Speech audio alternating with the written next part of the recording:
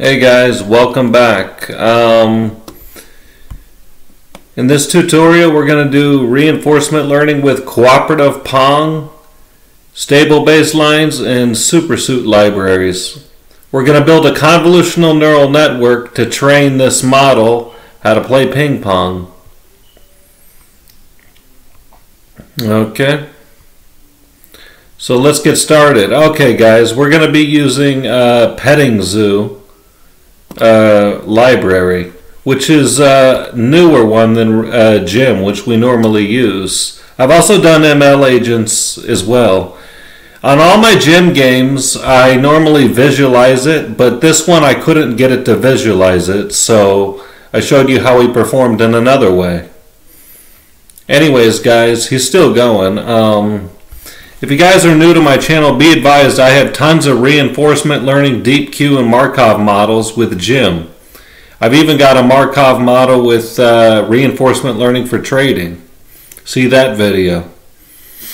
I've uh, got ML pipelines with SageMaker pipelines. I've got all kinds of just basic data science tutorials to uh, ML ops to just deploying regular SageMaker models, no MLOps involved. You name it, I got it. I got Google Cloud deployments, I got Azure deployments. I've got it all. Check out my channel. I've got convolutional neural networks. Uh, for image classification, I've got ML web apps, AI web apps, you name it, I got it. And the web apps are with Streamlit. Anyways, guys, let's get started uh, import these libraries, install PettingZoo, and if you guys use Colab, your virtual environment doesn't need to be installed. Just so you guys know. and TensorFlow and all that's pre-installed as well for some of my other videos. Use Pymunk. I've even got neural translation machines, not to get off topic. Now guys, this is an API test for a different game. This is Pistonball. You guys can apply my code to play Pistonball as well.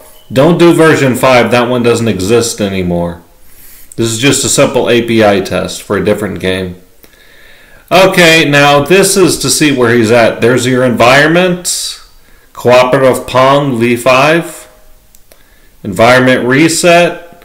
This is the parameters you need to pass. We're going to do two environments. Environment 1 is just for this. So anyways, pass all that. Stable baselines. We got to install this library. We got to install Supersuit too. pip install. And there's your environments. Import those because we're going to use the CNN policy, convolutional neural networks. If you guys have seen some of my videos, you got them for image classification. Okay, now we got to reshape them and we got to use color reduction. So pass all that right there using SS library. Okay. Now here's the model, guys. The first model is environment 1. We're going to reshape him into environment 2 just uh, so he performs in a totally new environment. You guys can change some of these parameters. However, he performed very well. Uh, you guys can do epochs 5 model save policy. Pass all those parameters right there. You guys can make uh, different changes if you guys want. And then here's how you see how he's training. He performs better in his new environment, ironically. model load policy, PPO dot model load policy. And here he is in cooperative Pong dot environment. The reduction, environment one, environment one, we're going to shape them into this, guys. You guys see? Pass all that right there. Okay, uh, environment reset for agent and environment one agent iter. Remember, guys, environment one. Observation, reward, termination, truncation, info, equals environment one last, model predict the observation. Pass this right there at the end also. Environment step, the act, remember, render. Print the act just to see uh, where he was at. He was on space one. It's computed to NumPy. Anyways, guys, you guys want to see him going? You guys see? Zero penalties most of the time. Okay, IPython display. That was when I was going to display him, but I couldn't. Because uh, you can't render him in uh, env environment mode in this library. You can't render him in Atari mode like you can on my other videos and you can visualize. So I found another way to show how he's performing. Okay, epochs, zero, frames to capture it, penalties, rewards. Okay, one, done equals false. Boolean logic right there for epochs. While not done, for agent and invade agent admire one iter, observation rewards, environment last. if reward, Boolean logic is uh, negative 10, penalties right there to 1. Append, frame, environment render, observation, reward. Now, if you guys want, you guys can pass print uh, the same. You guys can pass the same thing right there. You guys can pass uh, reward, and you can uh, pass in this format, and then you guys can pass it right there, the appropriate parameters, if you guys want.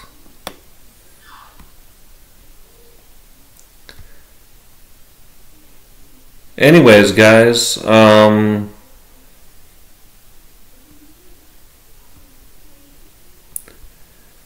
just letting you guys know what else you guys can do. And guys, if you want to improve him even more, I'm sure he makes even more mistakes later on. Um, you guys can increase the epochs. That's one thing. You guys can also increase the time steps. Just so you guys know. And see some of my other videos that are more in depth for Gym. As you know, convolutional neural networks are usually used in image classification. They're also used in time series. yeah, not just LSTMs, which I've got two videos for that as well. So, guys, just so you know, there's things you can do to improve them even more, or you can simply copy me.